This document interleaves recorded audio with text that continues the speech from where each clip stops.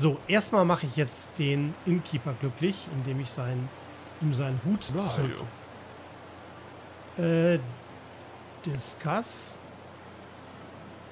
the innkeeper's hat. Yeah!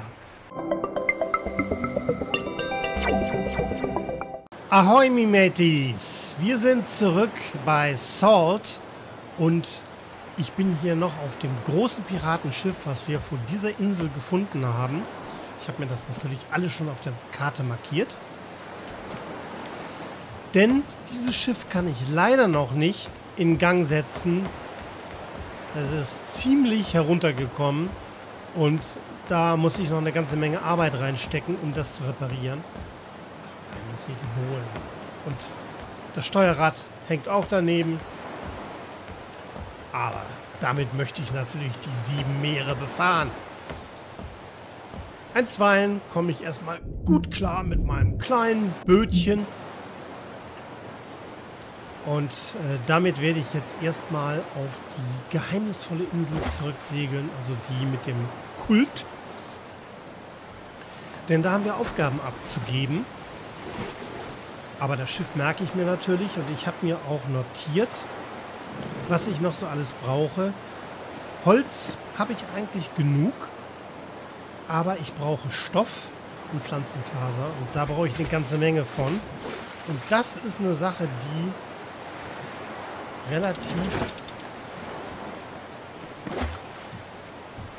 hart Steuerbord. Nee, das war Backbord, ne? Nee, Steuerbord. Was ist immer? Steuerbord ist rechts. Ich komme durcheinander immer damit.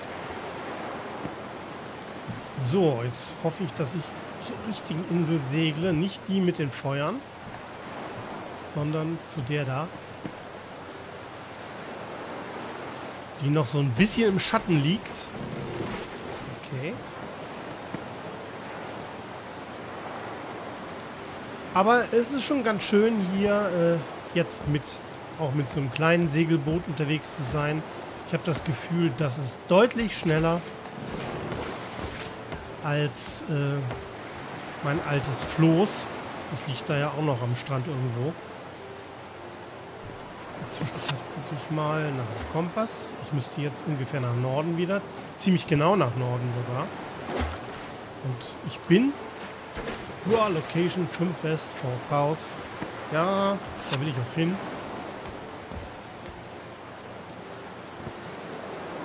Ich glaube, ich werde nicht schlagen, steuern. hier vorne an der, am Strand diesmal anlegen. Und auch ein bisschen näher an den Strand ranfahren. Das letzte Mal musste ich so ein bisschen schwimmen. Irgendwas ist da vorne auf dem Wasser.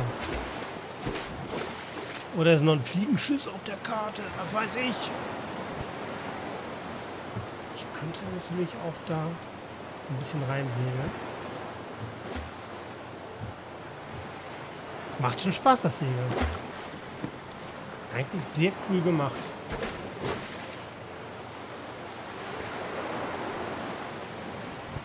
Sollte das reichen?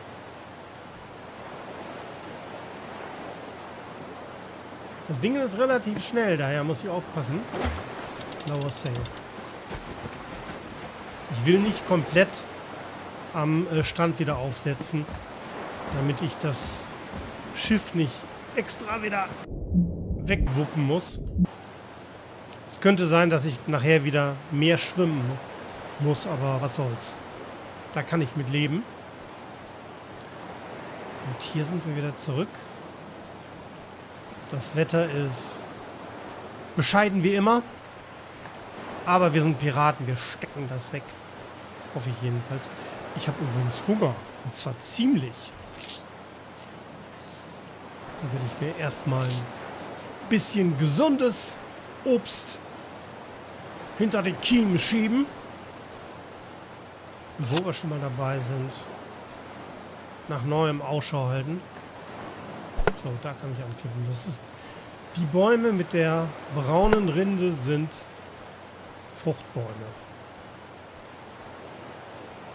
Und hier ist noch wieder Bambus.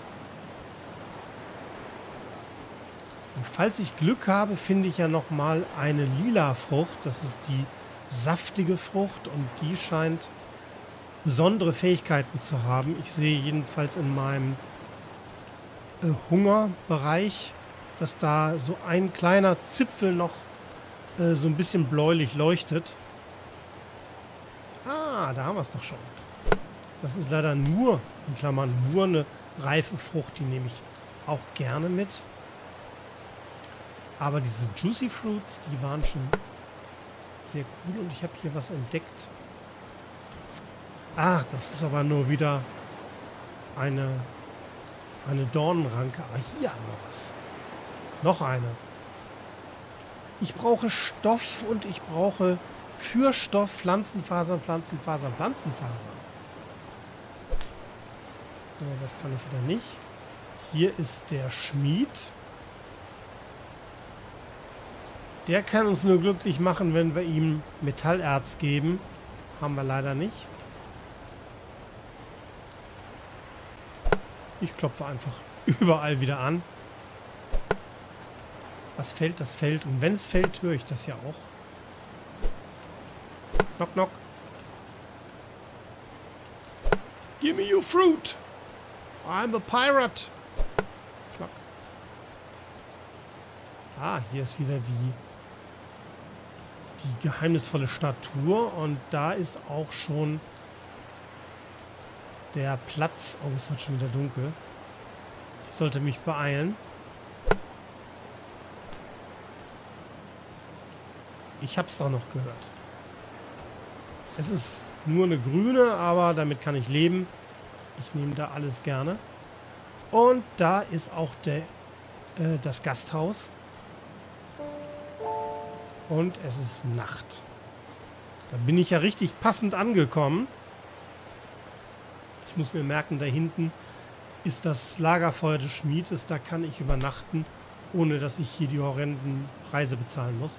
So, erstmal mache ich jetzt den Innkeeper glücklich, indem ich sein, ihm seinen Hut zücke. Äh, discuss. The Innkeeper's Hat. Yeah. Oh, ich sehe, du hast meinen Hut gefunden. Ich weiß nicht. Äh, du kannst dir gar nicht vorstellen, wie viel das für mich bedeutet. Ähm, dieser Hut ist mir als Geschenk überreicht worden von... Äh, okay, das ist eine Geschichte für eine andere Zeit. Auf jeden Fall danke für deine Hilfe und nun die Informationen, die ich dir versprochen habe. Jetzt wird es interessant. Informationen nehmen wir gerne. Ich weiß, äh, Whereabouts, äh, die, die Lage eines nahen Händlers, der dir weiterhelfen kann, äh, einige Güter zu erhalten für deine zukünftigen Abenteuer. wenn du gutes Loot magst und äh, du wirst es, äh, du wirst es mit Sicherheit tun. Auf jeden Fall, wenn du noch weiter Informationen brauchst, frag einfach. Okay. Information about, aber da habe ich ja schon mal ge gesehen, was der alles kann. Ein extra Sek äh, Sextant brauchen wir nicht. Und das Hearty Meal, das gesunde Essen, da will er auch richtig Geld für haben. Und äh, erstmal spare ich noch. Ich habe da nicht allzu viel. Ja, prima. Dann haben wir einen schon mal glücklich gemacht. Na nun, was ist denn jetzt los? Ach so, ich bin noch im Menü. Nein. So. Dann kommt der nächste dran.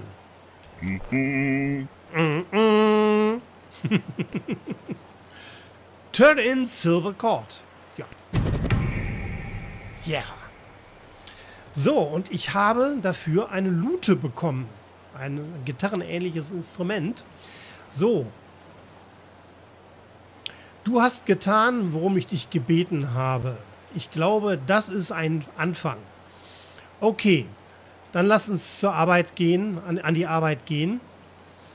Hm, okay, ziehen wir die Seite hier auf. Äh, wir spannen sie. Moment, wo ist mein kleines Werkzeug? Ah, hier, äh, es ist Fasten. Pull und... Okay. Hier ist deine Loot. Loote. So. Spiel sie mit Vernunft. Dignity? Dignity?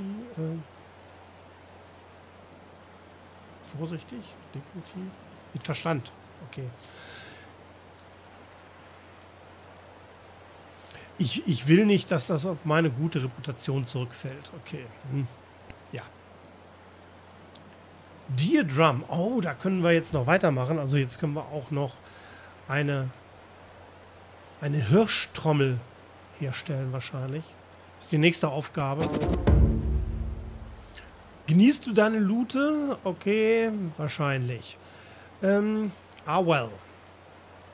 Wir können also hier jetzt nicht aufhören. Da ist noch mehr, äh, was ich dir über äh, Musik erzählen kann als äh, Seiteninstrumente. So, wir, wir gehen jetzt an die Grundlagen für eine Melodie, den Rhythmus. Äh, okay, das habe ich anders gelernt. Egal. also, wir brauchen auf jeden Fall eine Trommel. Und diesmal brauchen wir hochqualitatives, äh, äh, hochqualitative Hirsch äh, oder hochqualitatives Hirschleder. So, jetzt haben wir es. Das muss so perfekt äh, sein, dass äh, die Trommel die richtige Resonanz hat und die Tonalität. Strike you in the chest. Und äh, diese Tonalität, sie soll dich äh, in der Schulter treffen und deine Ohren ab abfallen lassen. Und nee, set your ears ablaze. Hm. Okay, wir brauchen auf jeden Fall ein vernünftiges Skinning Knife, also ein Häutungsmesser. Hunt is was the salt often use these knives to check hunting shacks to see if you can find one. Okay, also wir brauchen auf jeden Fall äh, so ein, äh, ein, ja, ein Häutungsmesser und ich glaube, wir haben eventuell sogar schon eins. So, dann äh, sollten wir eben einen Hirsch jagen und das äh, und die Hirschhaut, die muss perfekt sein. Und wir haben, ne, das ist ein Albino. Ich glaube nicht, dass er das meint. Okay. Und äh, das soll ich ihm dann bringen, also diese perfekte Hirschhaut. Und daraus wird er dann eine Trommel herstellen für mich. Ja, prima. Danke für die Aufgabe. Dann haben wir auf jeden Fall wieder was zu tun. Nein. Ich habe mich noch nicht dran gewöhnt, dass wir, dass ich jetzt wieder eine eigentlich bessere Tastenbelegung habe. Gut. Äh, ich will aber trotzdem noch mal in mein Menü gucken. Ich hoffe, dass ich nie wieder umfalle. Doch hier, Pristine Deer Pearl. Das ist ja eine äh, hochqualitative. Und so ein Messer. Brauche ich das Messer dann überhaupt? Das ist jetzt die Frage. Ich weiß es nicht. Ich meine aber, so ein Häutungsmesser hätte ich auch mal gehabt. Innkeeper Sword. Ja, wir haben, was haben wir da an, an Schwert überhaupt hier drauf? Pirate Sword. Das ist noch besser. Das Innkeeper Sword, das war nicht so doll. Also auch schon gut, aber... Oh, ich habe auch noch ein perfekte, äh, ein perfektes Hirschfleisch, sehe ich gerade. Das könnte ich auch noch essen, wenn ich mal richtig Hunger habe. Was bringt denn das denn? 12 äh, 12 Max Health und 12 Health. Also es heilt mich auch. Okay, gut zu wissen. Eine Bandage habe ich mir schon mal hergestellt. Okay, was wir brauchen ist Pflanzenfasern, nämlich um das große Segelboot, äh, das Piratenschiff zu reparieren. Und ich brauche auch Stoff. Was habe ich denn hier? Strong Plant Fibers gibt es auch. Oh. Ich meine, etwas Stoff hätten wir aber wieder. Hier. Also drei Stoff haben wir, acht brauchen wir. Und zusätzlich brauchen wir eben noch zehn Pflanzenfasern. Und das wird eine ziemliche Aufgabe, denn einzelne Pflanzen und Pflanzenfasern sind schwer zu haben. Holz habe ich genug, auch Hardwood habe ich hier auch reichlich. Ja, schwierig, schwierig. Wird es schon wieder hell oder sieht das nur so aus? Ich laufe mal gerade rüber zum, zum Schmied, um dort zu nächtigen. Es gab hier noch eine andere Feuerstelle, aber da konnte ich nicht übernachten. Das war ein bisschen merkwürdig. Egal. Hauptsache wir wissen, wo es klappt, nämlich hier. Rest until sunrise. Und schon geht die Sonne auf und es ist wieder ein bisschen heller. Und ich will auch wieder äh, ein bisschen auf Spurensuche gehen, um Material zu suchen. Nicht nur Früchte. Ich weiß nicht, ob es hier auch wieder... Es gab hier auch einen Hirschen, den hatte ich auch erlegt. Ich weiß nur nicht, ob der wieder äh, respawnt. Würde mich natürlich freuen. Aber ich dachte doch, ich hätte so ein Jagdmesser. Um Tiere. Die Lute habe ich noch gar nicht ausprobiert, fällt mir gerade ein. Moment. Das müssen wir noch mal gerade machen. Ich hoffe, dass dann nicht schon wieder irgendwas passiert, dass ich dann sterbe. Apropos. Nutze Sicherheit. Einmal gerade auf Save klicken. Und jetzt probiere ich die Lute aus. Lute. Kann ich gar nicht. Oh. Kann ich nicht selektieren. Schade.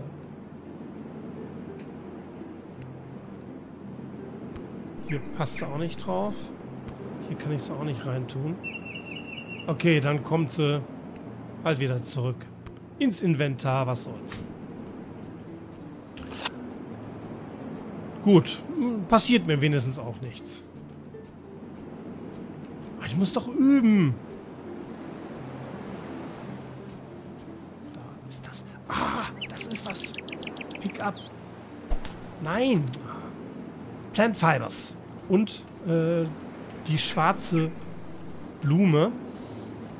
Und die schwarze Blume ist gut für ein Waffengift.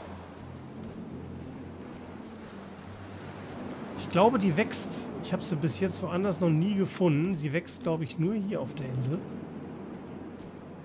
Zwischenzeit klopfen wir noch mal ein paar Bäume.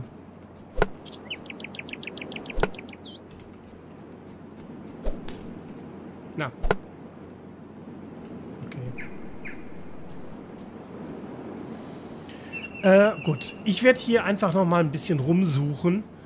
Und ähm, ja, sobald was passiert, ich glaube, diese Rumlauferei, es ist auch so ein bisschen Walking-Simulator.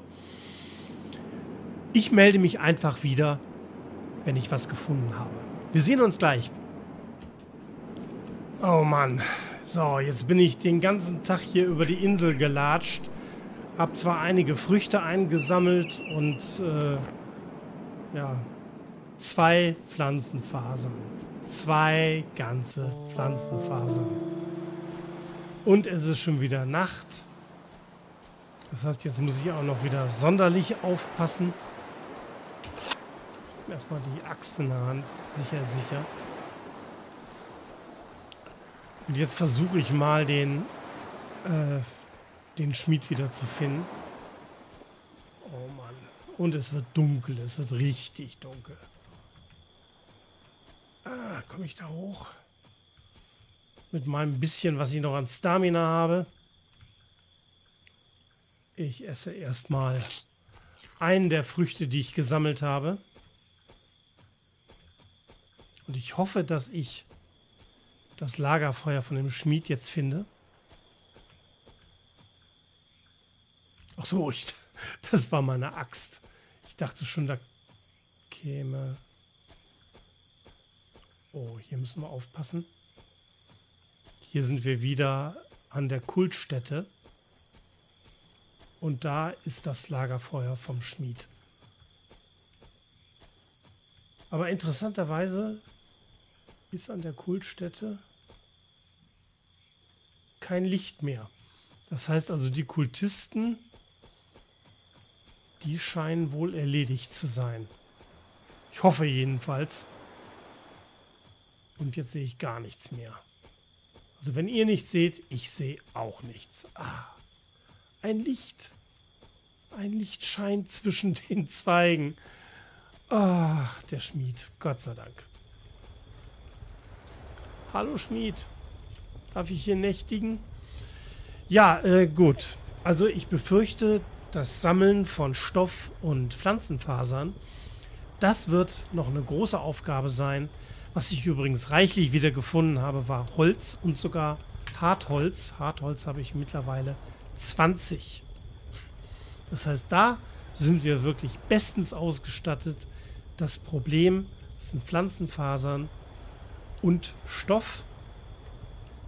Und äh, um einen Stoff herzustellen, brauche ich drei Pflanzenfasern. Also ich brauche reichlich Pflanzenfasern und das finde ich hier so gut wie gar nicht. Naja, egal. Ich werde hier erstmal die Nacht verbringen und dann werde ich in den, am nächsten Morgen Segel setzen und mir eine neue Insel suchen, denn ich befürchte, ich muss mir noch, ich muss noch einige Inseln absuchen, bevor ich genug Material zusammen habe, um das große Segelschiff zu reparieren. Aber das steht auf meinem Plan. Bis dahin vielen Dank fürs Zuschauen. Ich hoffe, es hat euch gefallen. Und äh, ja, wenn es euch gefallen hat, freue ich mich jederzeit über ein Like.